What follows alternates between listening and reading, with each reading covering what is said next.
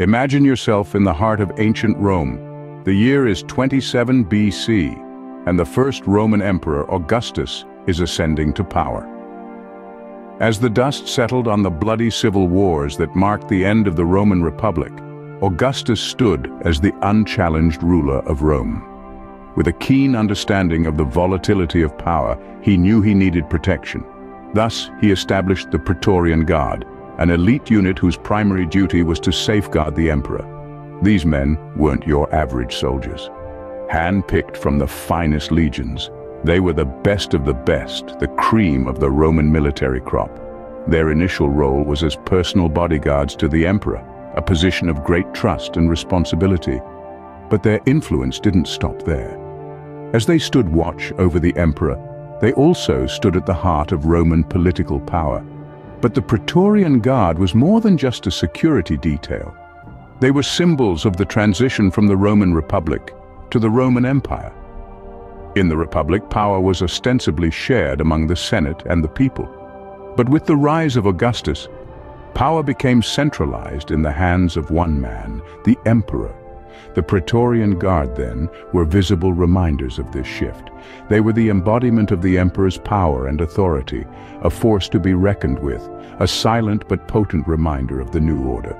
Yet it wasn't all about power and politics. The Guard also played a crucial role in maintaining public order and quelling riots, acting as a domestic police force of sorts. They were a constant presence in the capital, their distinctive uniforms a familiar sight to the citizens of Rome. As Augustus solidified his power, so too did the Praetorian Guard secure their role in the epic tale of the Roman Empire. Over the years, they would evolve, their influence waxing and waning with the fortunes of the emperors they served.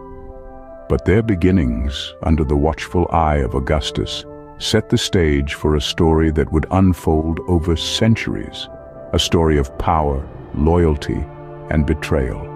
Fast forward to 23 AD, the Praetorian Guard had become a formidable force within the Roman Empire. This was not just a band of soldiers anymore. They were the power behind the throne, the shadowy figures who could make or break an emperor. The Praetorian Guard had begun to flex their political muscles, and their influence grew beyond the barracks and the battlefield, reaching into the very heart of the Roman government. They were not just the protectors of the emperor, but were also his advisors, his confidants, and sometimes his executioners. A chilling example of their growing power was the assassination of Emperor Caligula in 41 AD. Caligula, known for his erratic and tyrannical rule, had made many enemies during his reign. But it was his own bodyguards who delivered the fatal blow. The Praetorian Guard, once the emperor's trusted protectors, turned against him in a shocking display of treachery and ambition. But they didn't just stop at killing the emperor. In the chaos that followed Caligula's assassination, the Guard took it upon themselves to choose his successor. They bypassed the Senate, ignored the will of the people, and elevated Claudius, Caligula's uncle, to the throne. This was a powerful statement of their newfound authority. They were no longer just bodyguards, they were kingmakers. The Praetorian Guard had effectively rewritten the rules of Roman politics.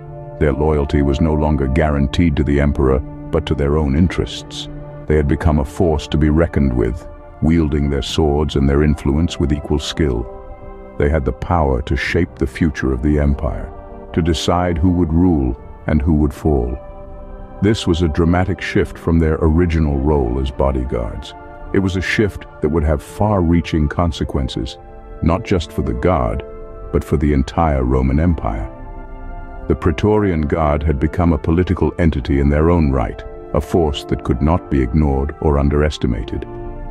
The Praetorian Guard had mastered the art of palace politics, proving they were more than just soldiers. We're now in the year 193 AD, a year that would go down in history as the year of the five emperors. This was a time of chaos as the Praetorian Guard's unchecked power began to spiral out of control. They had become the kingmakers, auctioning off the throne to the highest bidder, a dangerous game that plunged Rome into a state of uncertainty and disarray. The Praetorian Guard, once the protectors and guardians of the Roman Emperor, had become a destructive force. Their loyalty was no longer to Rome or the emperor, but to their own ambition.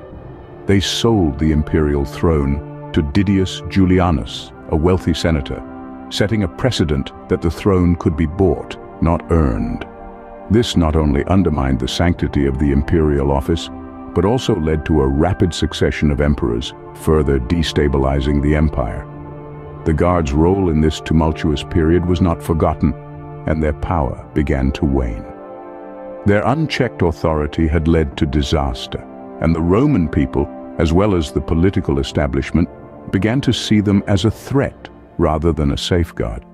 Their influence declined and they were gradually stripped of their privileges and responsibilities. Fast forward to 312 AD, a pivotal moment in Roman history. Constantine the Great, after defeating his rivals, took a decisive step. He saw the Praetorian Guard as a symbol of the old regime, a relic of a time of chaos and instability. In a bold move, he disbanded the Praetorian Guard, replacing them with a new imperial guard, the Scholae Palatinae. This was a clear break from the past, a signal of a new era, and a demonstration of his determination to restore order and stability to the empire. This marked the end of the Praetorian Guard, a once mighty institution that had wielded immense power, but had ultimately become a destabilizing force. Their disbandment was a turning point, a signal of the end of one era and the beginning of another. With the fall of the Praetorian Guard, an era of Roman history came to an end. The Praetorian Guard has been disbanded for centuries now, but their legacy is far from forgotten. For over 300 years, these elite soldiers wielded significant influence in the heart of the Roman Empire, shaping its history in ways both overt and subtle. They were the protectors of emperors, often deciding who would rise to power and who would fall.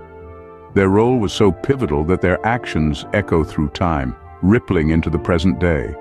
Their enduring influence extends beyond the pages of history books and into popular culture. They have been depicted in films, literature, and games, forever immortalized as the quintessential Roman soldiers. Their iconic uniforms, their political maneuverings, their courage and their treachery all have become part of the fabric of our collective understanding of the Roman Empire. The Praetorian Guard, once the protectors of emperors and the puppet masters of Rome, continue to captivate us, a testament to their enduring legacy in the annals of history.